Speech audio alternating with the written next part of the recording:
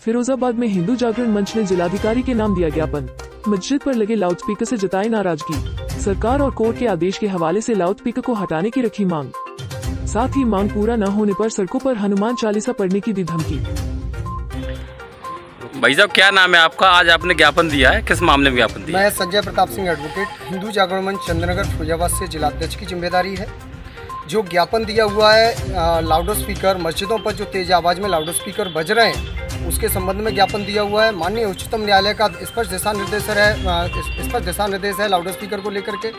पिछले सरकार के कार्यकाल के दौरान उत्तर प्रदेश सरकार का भी स्पष्ट दिशा निर्देश था कि कोई भी तेज आवाज़ में लाउड स्पीकर नहीं बजने चाहिए। जिस तरह से लाउड स्पीकर बजते हैं, उससे ध्वनि प्रदूषण होता है। विद्यार्थियों को पढ़ाई में भी परेशानी का सामना करना पड़ता है।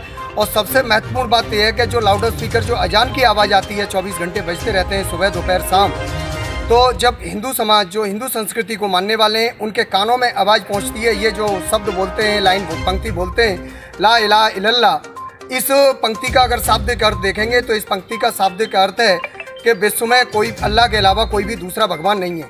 अगर इस तरह की भाषा इस तरह की लाइन अगर हमारे दिमाग में पहुँचती है हमारे कानों तक पहुँचती है तो हम, हमें हमारी भावनाएँ उससे आहत होती हैं। तो इसलिए ज्ञापन के माध्यम से जिलाधिकारी महोदय की अनुपस्थिति में एसडीएम साहब ने जो ज्ञापन लिया हुआ है उसमें हमने मांग रखी हुई है।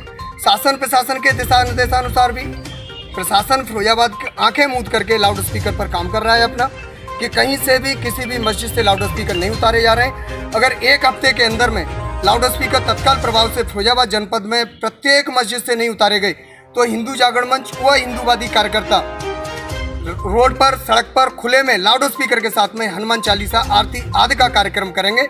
और जो भी व्यवधान आएगा, जो भी परेशानी आएगी, उसकी ज़िम्मेदारी फिरोजाबाद शासन प्रशासन की होगी।